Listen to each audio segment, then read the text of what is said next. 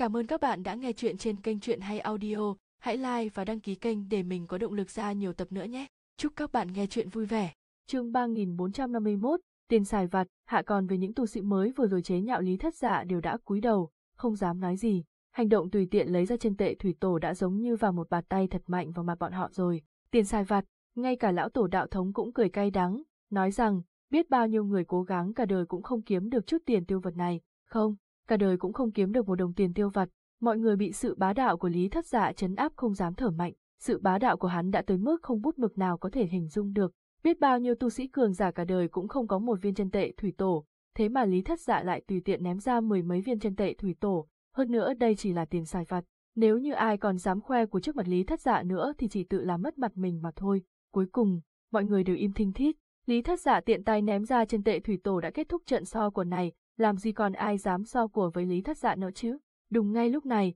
trong lòng biển ở đằng xa nổi gió lớn, sóng biển ngập trời, hơn nữa tầng sóng sau cao hơn tầng sóng trước, giống như có bão táp đang kéo tới. Trước trận sóng lật trời này, tiếng sóng va đậm vang không dứt, như thể toàn bộ vùng biển này muốn nhấc lên vậy. Tới rồi, có lão tổ mở thiên nhãn nhìn vùng biển ở đằng xa, thì thào rằng, đùng, đùng, đùng ngay lúc này, phía xa vang lên tiếng nổ vang, khi tiếng nổ vang truyền tới bên này thì đã qua được một lúc lâu, cuối cùng, chỉ nghe thấy tiếng sóng nhấc lên, dầm, chỉ thấy khi sóng lớn nhấc lên, toàn bộ vùng biển cũng nhấc lên giống như một tấm thảm, đáy biển là một mảnh tối om, mảnh tối om này lan vào bờ biển giống như cuồng chiều, đùng, đùng, đùng tiếng nổ đùng đoàng vang mãi không dứt, chỉ thấy chỉ trong thời gian ngắn ngủi, mảnh tối om kia đã bao trùm lấy ven biển, thậm chí còn bao trùm cả bầu trời. Tệ thu tới rồi, có lão tổ nhìn ra đằng xa, ánh mắt nhìn xa mấy triệu dặm, khi nhìn thấy hắc chiều kéo tới thì quát lớn, không ít người vội vàng mở thiên nhãn nhìn tới, đúng thật là như vậy, chỉ thấy vô số tệ thú leo lên bờ, sau khi tệ thú leo lên bờ thì phóng chân lao tới tệ thú thành như điên,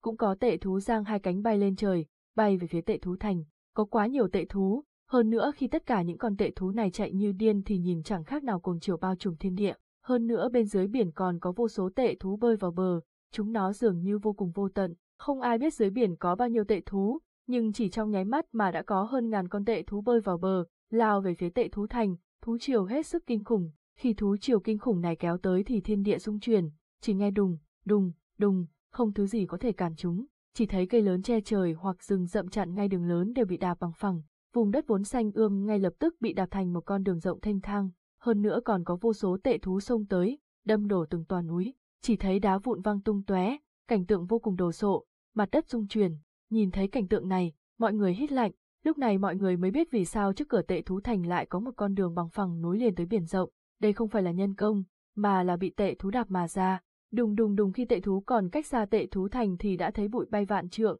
vô số tệ thú điên cuồng tấn công tới, giống như nước lũ cuốn tới, giống như có sóng thần cao ngàn tỷ trượng đang kéo tới. Má ơi, lúc này mọi người mới biết thú chiều khủng khiếp như thế nào, có mấy người sợ hãi lui về phía sau, tránh khỏi đường lớn, sợ bị thú chiều đâm trúng. Khi thú chiều ngày càng gần thì mọi người mới thực sự thấy rõ tệ thú. Trên thực tế, tệ thú nhìn không khác gì phi cầm tàu thú, ít nhất vẻ ngoài rất tương đồng. Đương nhiên cũng có một vài con hình thù cực kỳ quái lạ, thế nhưng dù sao cũng là số ít. Tệ thú trong thú chiều giống nào cũng có, có châu hoang cao lớn, dài chừng ba trượng, toàn thân đỏ đậm, khi nó lao tới thì bốn phó cực lửa của nó để lại dấu chân trên mặt đất, cũng có thú dữ như báo tuyết, tuy thân hình không lớn thế nhưng tốc độ lại như tia chớp, thoăn thoát ở đằng trước, thân hình của nó thì sáng trắng như hoa tuyết, nơi đó đi qua đều bị kết băng, cũng có tệ thú rất nhỏ, thoạt nhìn giống như một con khỉ rừng, nó cưỡi trên lưng một con cự thú, mà con cự thú đó dường như rất nghe lời của nó, có quá nhiều tệ thú kéo tới, muôn hình muôn vẻ, đếm mãi cũng không hết, mọi người nhìn mà hoa mắt, thế nhưng, mặc kệ những tệ thú này có dáng vẻ như thế nào, tổ thú cũng vậy, phi cầm cũng vậy, chúng nó đều có chung một đặc điểm, đó là phần chán trên đầu chúng nó có hoa văn, hoa văn này giống như một viên đồng tiền, cũng chính bởi vì hoa văn này mà chúng nó mới bị mọi người gọi là tệ thú. ầm, ầm, ầm tiếng đất rung vang lên không ngừng. Trong thú triều cũng có tệ thú vô cùng to lớn, loại cự thú này thuộc về đẳng cấp đầu sỏ. Chỉ thấy có một con vượn lớn có thân hình còn cao hơn ngọn núi cao nhất một cái đầu, mỗi bước đi của nó đều dài ngàn dặm, mỗi bước nó đạp xuống là để lại một vết chân to lớn, vô số ngọn núi bị nó dẫm bẹp, trên đường nó lao tới, có không biết bao nhiêu ngọn núi bị nó va nát, cực kỳ hung tợn, khi con vượn lớn này dẫm xuống thì có vô số tệ thú bị dẫm trúng, có tệ thú chúng một dẫm thì nát thành thịt vụn, thế nhưng những con tệ thú khác lại làm như không có chuyện gì, tiếp tục lao nhanh, lại có một con rắn lớn dài ngàn dặm, chỉ thấy nó le lưỡi, ầm một cái, ngọn núi đằng trước bị đánh nát, con rắn lớn này tuy rằng có thân thể khổng lồ, thế nhưng tốc độ của nó lại nhanh không gì bằng, trườn qua giống như tia chớp, khi con rắn lớn này trườn qua, chỉ nghe răng rắc, răng rắc, vô số cây lớn che trời, vô số núi non bị đè nát tan, nơi nó trườn qua đều bị nó ép thành một con đường bằng phẳng, khiến người ta phải trố mắt nhìn. Đùng chỉ trong thời gian ngắn, thú triều khủng bố đã tới phạm vi của tệ thú thành, tức thì, giống như có động đất xảy ra, vô số cây cối che trời tan nát, vô số ngọn núi đổ nát. Má ơi, chúng ta cách gần quá rồi. Chương 3452, thú triều có không ít tu sĩ chọn ngọn núi cách gần đường lớn, vì vậy khi thú triều kéo tới thì bọn họ cũng đứng mũi chịu sào, không ít tu sĩ bị thú triều cuốn lấy. À tiếng hét thảm vang bên tai không dứt, có vô số tu sĩ cường giả sau khi bị thú triều cuốn lấy thì bị dẫm thành thịt vụn, tiếng kêu thảm thiết vang bên tai không dứt, có tu sĩ vội vàng tung người nhảy lên trời, thế nhưng bọn họ bất hạnh rồi, chỉ nghe một tiếng ríu, có một con chim to lớn bay ngang bầu trời, đôi cánh lớn của nó quét trúng bọn họ, bọn họ hét thảm, thân thể bị cắt đứt ngang, trên trời đồng mưa máu. Cũng có một số tu sĩ may mắn đã dọn sẵn chân tệ, khi con tệ thú xông tới trước nhất nhìn thấy, có tệ thú há rộng miệng nuốt chân tệ của bọn họ. Sau khi nhìn thấy tệ thú nuốt chân tệ của mình thì những tu sĩ này vội vàng nhảy lên tệ thú, ngồi trên tệ thú, để chúng nó cưỡi mình chạy vào tệ thú thành. Thế nhưng, có người may mắn, cũng có người bất hạnh, có một vài tu sĩ cường giả vừa ngồi lên lưng tệ thú thì chỉ nghe ầm, bầu trời tối đen, một bàn chân lớn đạp xuống, dẫm bọn họ thành thịt vụn, thậm chí ngay cả tệ thú cóng bọn họ cũng bị dẫm thành thịt vụn, bọn họ đến khi chết cũng không biết mình đã chết, chết rất oan uổng. Đương nhiên cũng có một số tệ thú chỉ có tu sĩ trên lưng chúng nó là bị dẫm thành thịt vụn, thế nhưng chúng nó lại làm như không có chuyện gì, tiếp tục chạy về phía trước, may mà chúng ta không cách đường lớn gần như vậy. Nhìn thấy tu sĩ cường giả cách gần đường lớn bị dẫm thành thịt vụn, những tu sĩ cường giả cách xa đường lớn vui mừng nói rằng, ban đầu không cướp được những ngọn núi ở đằng trước xem ra cũng là chuyện may mắn. Ô lúc này có một số tệ thú chạy lệch khỏi đường lớn, chạy tới trước mặt một vài tu sĩ, há mồm nuốt chân tệ của bọn họ vào bụng. Sau khi nhìn thấy tệ thú nuốt chân tệ của mình vào bụng thì những tu sĩ này vội vàng nhảy lên lưng của tệ thú, cưỡi tệ thú đi vào tệ thú thành. Đương nhiên cũng có một số người muốn cưỡi chùa, không muốn trả thù lao nhưng muốn cưỡi tệ thú đi vào trong. Vì vậy sau khi bọn họ ngắm chúng một con cự thú thì lập tức xông lên, cưỡi lên lưng tệ thú. Ẩm tệ thú không hề khách khí, hất hung toàn bộ những người muốn cưỡi chùa này xuống mặt đất, thậm chí còn dẫm lên bọn họ. Còn có một vài người muốn cưỡi chùa sau khi bị tệ thú hất văng thì bị thú chiều ở phía sau dẫm thành thịt vụn. Nhìn thấy kết quả của những người muốn cưỡi chùa này, một vài người cũng muốn cưỡi chùa không dám manh động. U nhất thời, tiếng thú giống, tiếng chim hót vang bên tai không dứt, tiếng gầm gừ vang vọng thiên địa, vô cùng rung động. Nhắc đến cũng lạ, cửa thành tệ thú thành tuy rằng rất lớn, thế nhưng tuyệt đối không thể lớn hơn thú triều, thậm chí có con cự thú có thân thể còn lớn hơn cửa thành rất nhiều lần. Thế nhưng khi tệ thú lao tới thì lại không hề đụng hỏng cửa thành, chỉ thấy tệ thú giống như bị thu nhỏ, giống như từ một viên tinh cầu khổng lồ biến trở thành một cục đá vậy. Trên thực tế không phải do tệ thú bị thu nhỏ mà là khi tệ thú đặt chân tới cửa thành tệ thú thành thì đã tiến vào một vùng không gian khác, vì vậy thoạt nhìn thì thấy tệ thú thu nhỏ lại,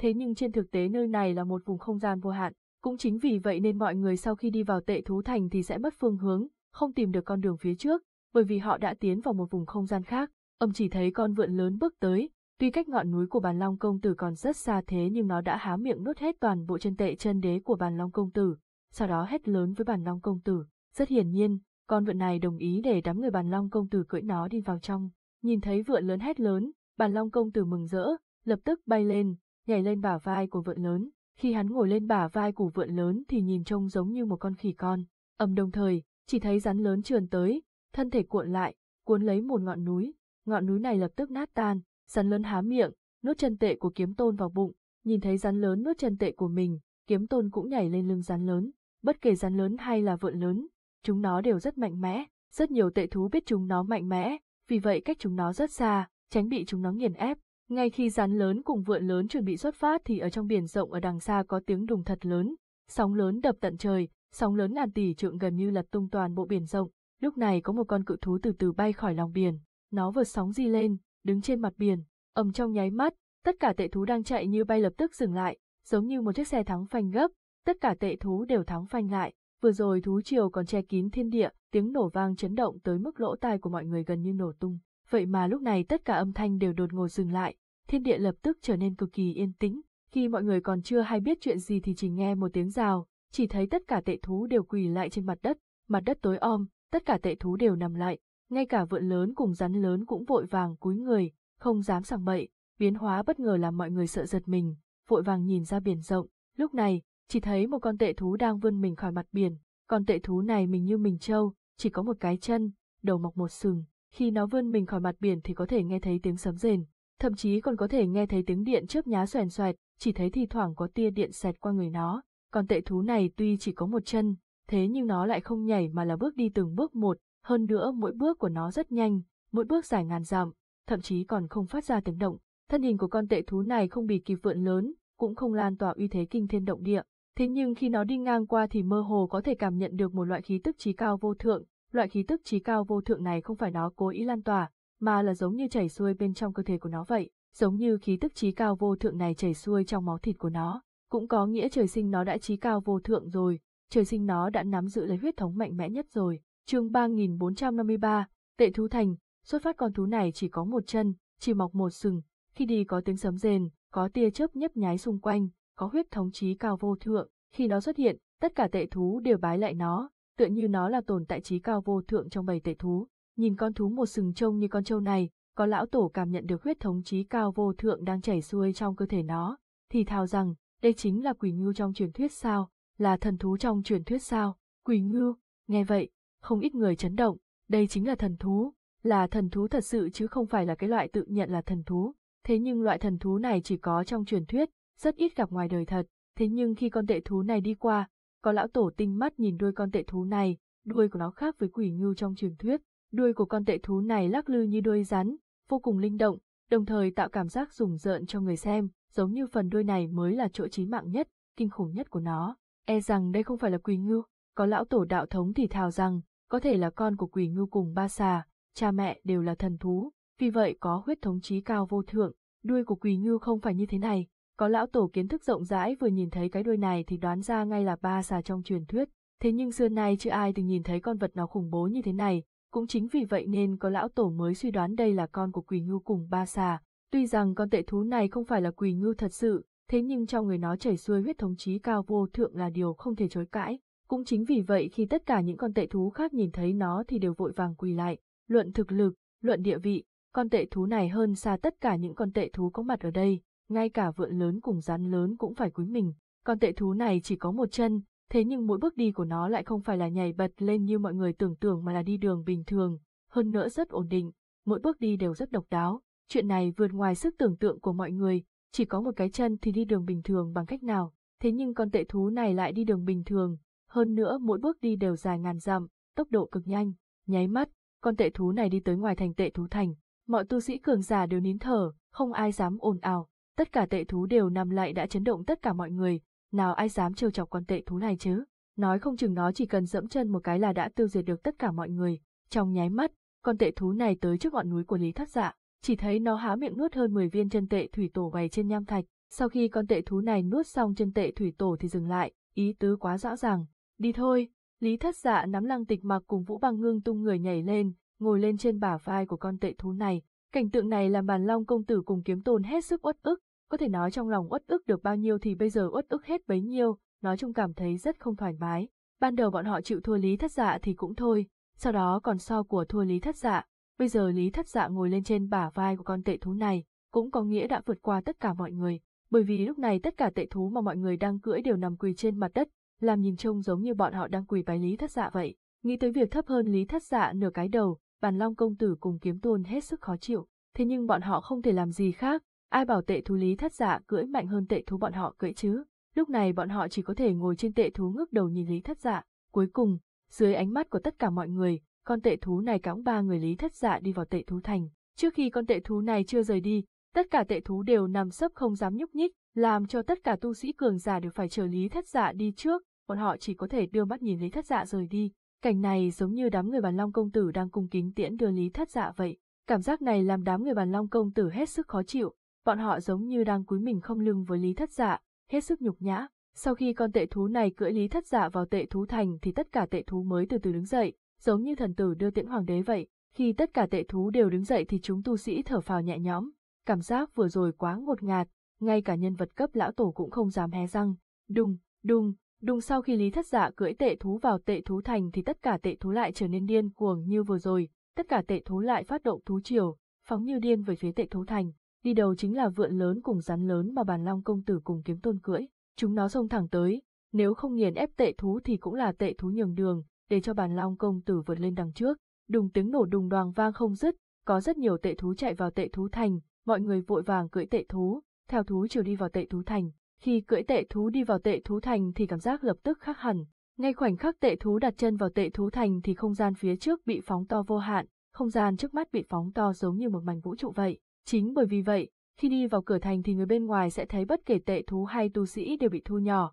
nhất là khi đi sâu vào trong thì sẽ bị thu nhỏ giống như một hạt bụi vậy. Trong tệ thú thành, nếu như ngươi không cưỡi tệ thú thì nghe nói có vài trường hợp xảy ra, nếu như ngươi không có đủ đạo hạnh thì ngươi sẽ thấy mình đi vào một đại điện, trong đại điện này không có thứ gì cả, ba mặt đều là vách đá. Nếu như ngươi đủ mạnh, biết đánh vỡ hàng rào không gian thì ngươi sẽ thấy mình đi vào một vùng không gian vô cùng vô tận, không thể tìm thấy phương hướng. Vì vậy, muốn đi vào tệ thú thành thì nhất định phải cưỡi tệ thú, chỉ có cưỡi tệ thú thì ngươi mới có thể đi vào tệ thú thành thật sự. Chương 3454, Tệ thú thành thần bí, thượng thú triều lao nhanh, chỉ trong thời gian ngắn mà đã có vô số tệ thú nhảy vào tệ thú thành. Thú triều vốn phủ kín thiên địa, vô cùng mênh mông, thế nhưng khi thú triều đi vào vùng thiên địa mênh mông này thì lại nhỏ bé như dòng suối nhỏ. Không, thậm chí ngay cả dòng suối cũng không phải mà chỉ là một cột nước nhỏ mà thôi. Vùng tinh không trước mắt quá hùng vĩ, tinh hà miên man, ngôi sao chìm nổi. Đây là một vùng tinh không cực kỳ mênh mông. Sau khi đi vào vùng tinh không này, thú triều tản ra, không tụ tập thành cuồng triều như vừa rồi nữa. Dù sao vùng tinh không này cực kỳ mênh mông, vì vậy tệ thú không cần liều mạng chen chúc với nhau nữa. Vù, vù, vù lúc này, chỉ nghe thấy tiếng không gian dao động, chỉ thấy từng con tệ thú nhảy lên, đạp lên từng viên ngôi sao. Khi tệ thú đạp lên ngôi sao, ngôi sao bất ngờ sáng lên, khi ánh sáng lóe lên thì tệ thú lập tức nhảy lên, giống như được gia tốc, nhảy lên thật cao. Sau khi tệ thú nhảy tới độ cao nhất định thì chỉ thấy chúng nó đụng vào hư không, hư không chập chờn như sóng nước, tệ thú lập tức biến mất khỏi vùng không gian này. Khi tệ thú xuất hiện lại thì nó đã bỏ ra vùng tinh không phía dưới, nó lại tiếp tục đạp lên một viên ngôi sao khác. Đây là bước nhảy không gian. Nhìn thấy tệ thú đạp lên ngôi sao rồi nhảy tới vùng không gian khác, có trưởng lão đại giáo nói lớn, hết sức giật mình. Bước nhảy không gian có thể vượt qua ngàn tỷ dặm trong nháy mắt, truyền tống còn xa hơn cả đạo môn. Công trình khổng lồ như vậy, không biết rốt cuộc là ai xây nên, hoặc có thể đây là sản phẩm tự nhiên, nó không phải là kiến trúc, mà là trời sinh đã vậy. Sau khi tất cả tệ thú lần lượt nhảy bước nhảy không gian thì cuối cùng phía trước xuất hiện một vách đá cực kỳ cao lớn. Vách đá này quá cao lớn, giống như nắp cống đóng kín vùng tinh không này. Bất kể là nhìn lên hay là nhìn xuống thì cũng không thể nhìn thấy phần cuối của vách đá này. Thế nhưng tệ thú lại không dừng lại, chúng nó vẫn va tới vách đá bằng tốc độ nhanh nhất. Má ơi, sẽ tan xương nát thịt mất. Nhìn thấy tệ thú va tới bằng tốc độ nhanh không gì bằng, không ít tu sĩ cười tệ thú giật mình. Bùm thế nhưng kỳ lạ là khi tệ thú va vào vách đá thì lại không có tan xương nát thịt mà là giống như nhảy vào hồ nước, lập tức hòa tan vào vách đá. Khi tệ thú va vào vách đá thì chỉ chừa lại một cái bóng nhàn nhạt, nhạt, sau đó cái bóng này dập dờn như sóng nước rồi biến mất hẳn. Ba người lý thất dạ cưỡi tệ thú nhảy vào vách đá, thế nhưng ngay khoảnh khắc nhảy vào vách đá thì mọi thứ đều biến mất, trước mắt không còn vách đá to lớn nữa, cũng không có tinh không nữa, mà là một mảnh đại địa. Mảnh đại địa này vô cùng rộng lớn, khi mới đặt chân lên vùng đất này thì sinh cơ bàng bạc rội vào mặt, như thể nơi này tràn trề sức sống, như thể nơi này là một vùng đất nguyên thủy chưa có ai đặt chân tới. Ở nơi này, màu xanh biếc trải vô cùng vô tận, thật kỳ quái. Khi cưỡi tệ thú đi trên vùng đất này,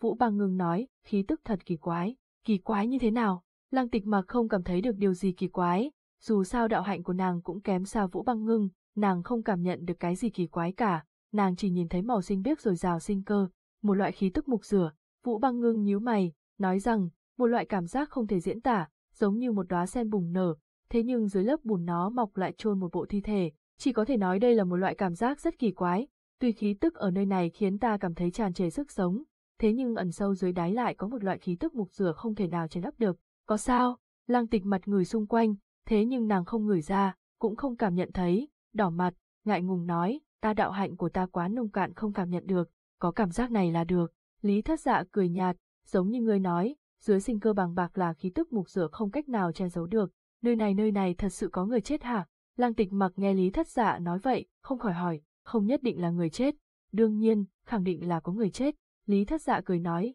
hơn nữa còn chết rất nhiều, e là không thể đếm hết, rất nhiều người chết hả? Lăng tịch mặc sợ bắn người, cũng có tệ thú. Lý thất dạ nhìn ra xa, lạnh nhạt nói, hơn nữa còn chết rất nhiều, có vô số sinh mệnh chôn thây ở nơi này, nơi này cuối cùng là nơi nào, Vũ băng ngưng mạnh hơn lăng tịch mặc rất nhiều, lăng tịch mặc không cảm nhận được, thế nhưng nàng lại có thể cảm nhận được chỗ khác thường ở nơi này, thế nhưng nàng lại không thể nói rõ cảm giác này. Nàng cũng không biết phía sau cảm giác kỳ quái này là hoàn cảnh như thế nào, có cái chết thì mới có sự sống mới. Lý thất dạ nói chậm, sự sống mới là được xây dựng trên cái chết. Đối với ngươi, nó là cái chết, thế nhưng đối với một loại sinh linh nào đó thì nó chỉ là sự sống mới. Thi thể của ngươi, hoặc của vô số sinh linh đã chết chỉ là chất dinh dưỡng của một sự sống nào đó mà thôi. Nghe vậy, lang tịch mà không khỏi run lên, có điểm báo không lành, nghe ra thì cũng không phải là chuyện hay. Vũ băng ngưng cười khổ, nói rằng, thục địa vốn không phải là chuyện hay. Lý thất dạ lắc đầu, nói rằng, thế giới này quá thần kỳ, thế nhưng mọi quy tắc ở nơi này là trời sinh mà,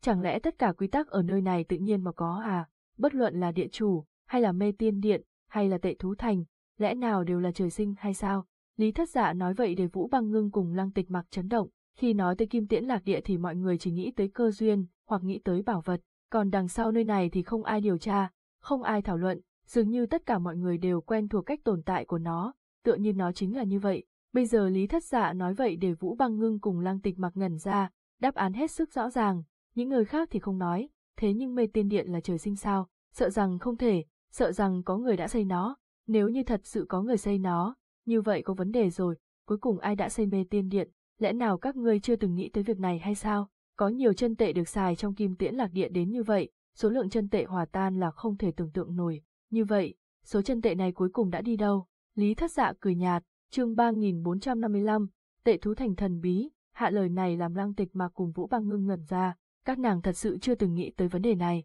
Nhiều chân tệ biến mất ở kim tiễn lạc địa đến như vậy, vậy cuối cùng số chân tệ này chạy đi đâu? Nhất thời, Vũ băng ngưng cùng lăng tịch mà không biết trả lời như thế nào, các nàng cũng không biết đáp án, rốt cuộc là đi đâu, Vũ băng ngưng hỏi, Lý thất dạ mỉm cười, nhìn ra xa, qua một lúc lâu, hắn mới hời hợt nói, đi tới nơi mà nó nên tới, dù sao có một số sinh mệnh khác với sức tưởng tượng của ngươi, là một loại sinh mệnh rất khác biệt, Vũ băng ngưng không hiểu, lăng tịch mà càng không hiểu, thế nhưng Lý thất dạ không muốn nói nhiều nên các nàng cũng không hỏi thêm nữa, vậy chúng ta đi đâu? Sau khi hoàn hồn, Vũ băng ngưng hỏi, nó sẽ chở chúng ta tới chỗ muốn tới, tệ thú càng mạnh thì càng đi xa, cơ hội cũng càng lớn. Lý thất dạ mỉm cười, vỗ vỗ tệ thú, nói rằng, con tệ thú một chân không phát ra bất cứ âm thanh nào, nó cứ đi thẳng, nhìn thì không nhanh, chỉ đi từng bước một, thế nhưng tốc độ lại nhanh đáng sợ, mỗi bước là ngàn dặm, nháy mắt là đi được vạn dặm, vượt qua thiên địa, dường như con tệ thú này biết mình muốn đi đâu, vì vậy nó đi thẳng về một hướng, không hề do dự,